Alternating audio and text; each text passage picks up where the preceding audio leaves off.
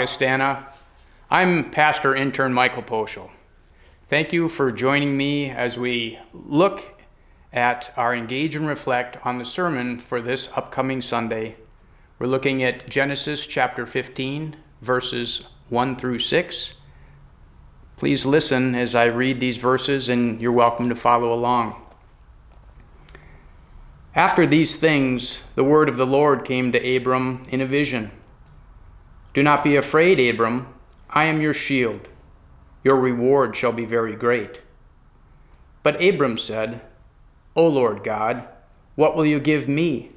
For I continue childless, and the heir of my house is Eliezer of Damascus. And Abram said, You have given me no offspring, and so a slave born in my house is to be my heir. But the word of the Lord came to him This man shall not be your heir. No one but your very own issue shall be your heir. He brought him outside and said, Look toward heaven and count the stars.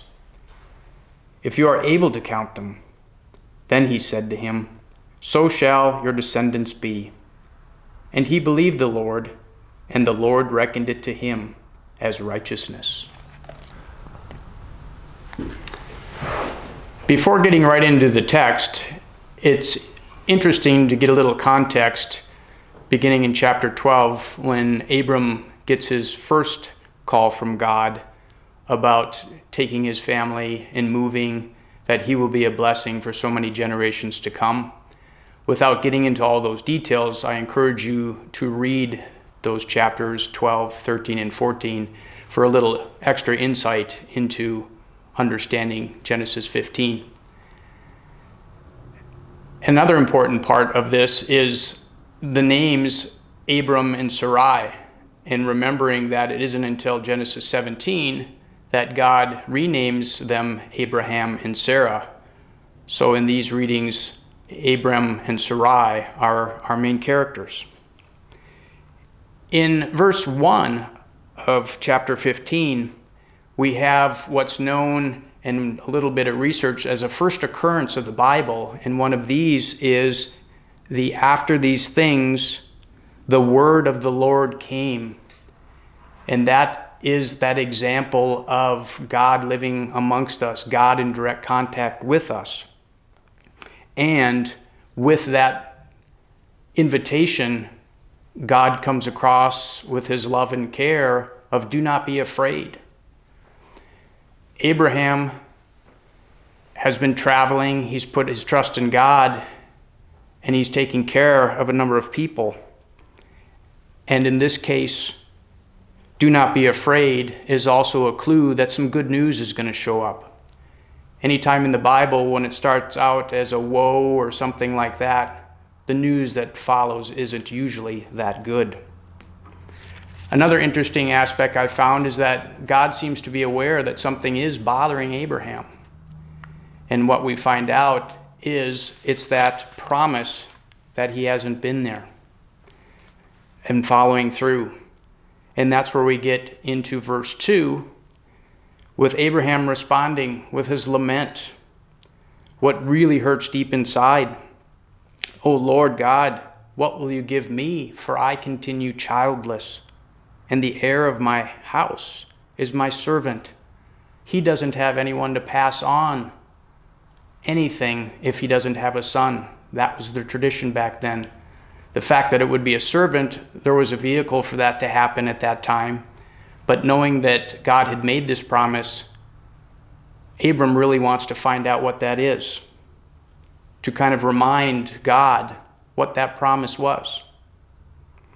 So in verse 3, Abraham kind of restates the problem and he kind of checks in with that.